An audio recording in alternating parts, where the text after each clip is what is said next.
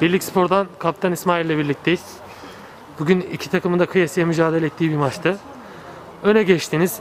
Sonradan tekrardan skor eşitlendi. Ama maçın sonunda maçı koparmasını bildiniz. Güzel bir galibiyet aldınız. Neler düşünüyorsunuz kaptan? Öncelikle rakibin ayağına sağlık. Centilmence bir maçta. Hakeme öyle fazla bir şey düşmedi. Yeni bir takımız herhalde şu an yani yeni oyuncularımız var. Alışma dönemindeyiz diyelim. Umarım daha iyi oluruz. Üstlükleri, üst sıralara oturmaya başarırız dilerim. Herkese iyi akşamlar dilerim. Değerli görüşleriniz için teşekkürler. İyi akşamlar. İyi akşamlar.